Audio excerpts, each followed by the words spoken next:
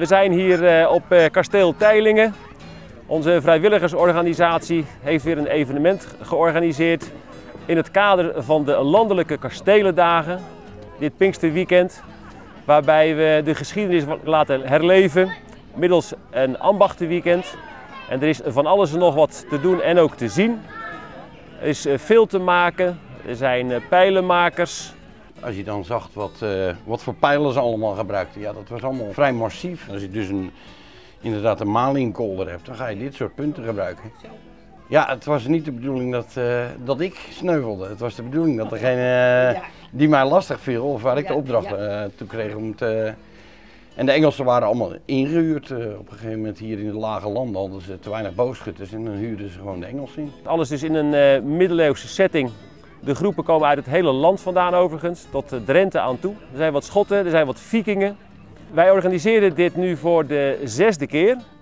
Niet vanuit onze stichting vandaan. Voorheen was ik in loondienst bij de Kastelenstichting Holland-Zeeland. Maar sinds anderhalf jaar heb ik die baan niet meer en heb ik de stichting Beheer Kasteel Teiling opgericht. Om nu samen met een groep vrijwilligers het beheer te doen.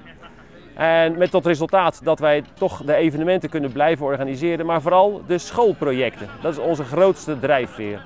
Er komen zo'n 70 basisscholen uit de Duin- en Bollenstreek komen hier voor geschiedenisles. Wij zijn sinds kort een trouwlocatie en afgelopen vrijdag hadden wij ook een huwelijksvoltrekking. Dat soort dingen zijn allemaal mogelijk tegenwoordig op kasteel Teilingen.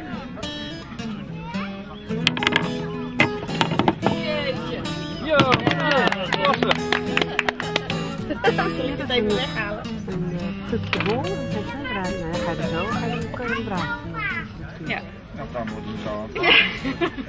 In Leiden had je heel veel gilders, alle lakengilders had je daar. En dat was echt voorbehouden aan mannen. Ja, daar moest je echt aan uh, flinke eisen voldoen. Wordt het wel gedaan toen. Ja, zeker. Dus uh, precies zoals ze het deden. Monnikenwerk?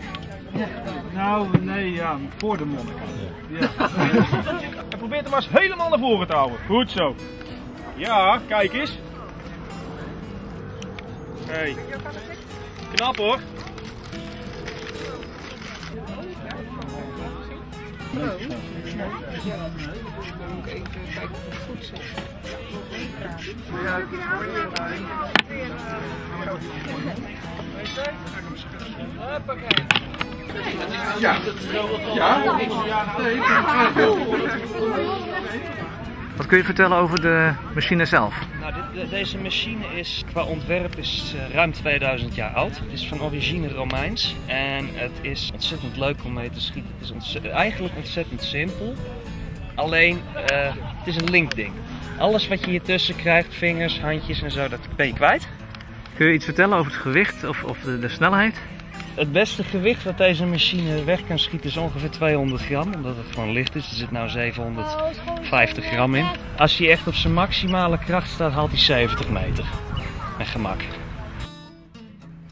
23 en 24 augustus dan organiseren we weer de belegering van Teilingen. Een groot middeleeuws evenement met ongeveer 300 reenactors en een 150 soldaten op het slagveld die een stuk van de Hoekse en de Kabeljauwse twisten gaan naspelen.